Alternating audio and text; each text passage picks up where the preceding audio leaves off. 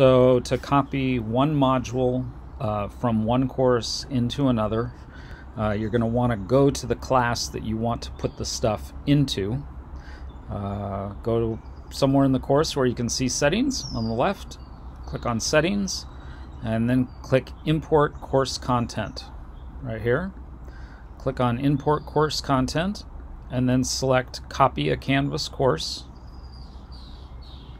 and then you're going to have to choose the course.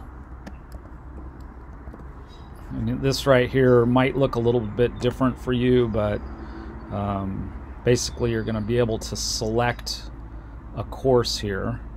Uh, mine's going a little slowly at the moment. There we go. So you're going to select the course, and then here's the important part. Um, instead of the whole course, you're going to pick just specific content. So check that button and then click import. And here you're going to see on the right side that you can select specific content.